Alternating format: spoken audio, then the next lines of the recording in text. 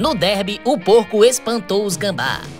O Verdão tá botando os rival tudo no bolso, a torcida gritou que só a gota e os gambás saíram fumando numa quenga. E o jogo começou mais quente que o sol de meio-dia do sertão do Nordeste e mais atrapalhado também.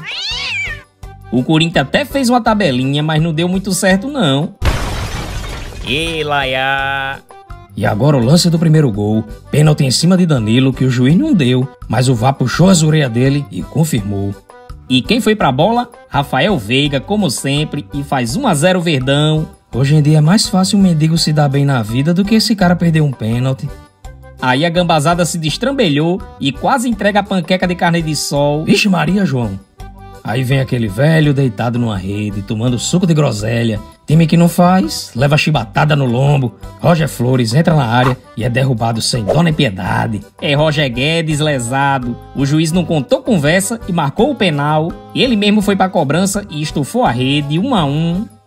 É, mas a alegria de corintiano dura menos que bateria de Android. E Danilo faz 2 a 1 um no oferecimento de 1xBet. E quem apostou no Verdão se deu bem demais, Chico. Porque a 1xBet tem as melhores cotações e o pagamento é ligeiro. E quem se cadastrar agora colocando nosso código recebe o valor do primeiro depósito dobrado. Se botar 10, ganha 20. Link na descrição, galera. Vamos embora ganhar dinheiro.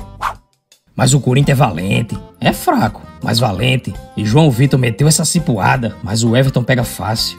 Mas Roger Guedes estava mesmo querendo estragar a festa do Verdão, Chicó, e fez um cruzamento que quase saiu empate. Eita molesta, foi mesmo.